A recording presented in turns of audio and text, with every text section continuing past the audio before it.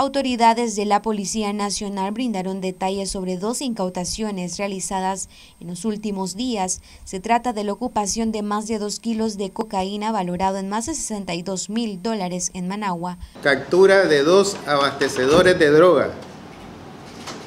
Primer caso. Policía Nacional incauta un kilo con 448 gramos de cocaína valorado en 36.200 dólares estadounidenses. Delitos, tráfico de droga y tenencia ilegal de arma de juego.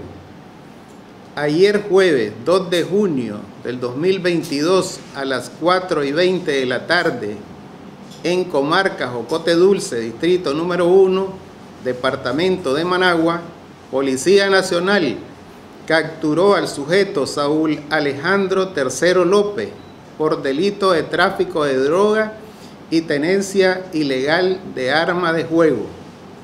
En registro de su vivienda se le ocupó un paquete rectangular envuelto en cinta adhesiva y seis bolsas plásticas transparentes con sustancia color blanco, prueba de campo dio positivo a cocaína, con un peso de un kilo con 448 gramos. Asimismo, se le incautó un arma de juego, pistola, un automóvil Nissan placa M287-210 y una pesa digital vinculados al delito. Preso, Saúl Alejandro Tercero López. Segundo caso, Policía Nacional incauta un kilo con 51 gramos de cocaína valorados en 26.275 dólares estadounidenses.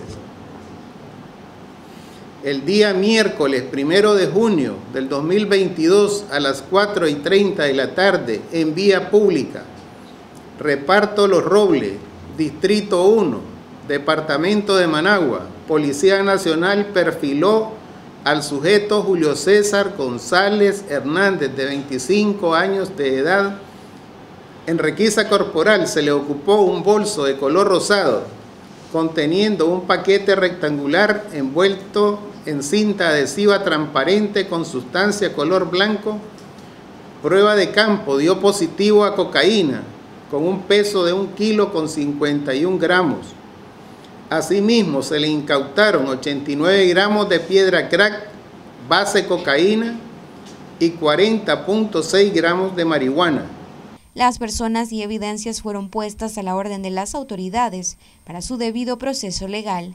Para Noticias 12, Gabriela Solórzano.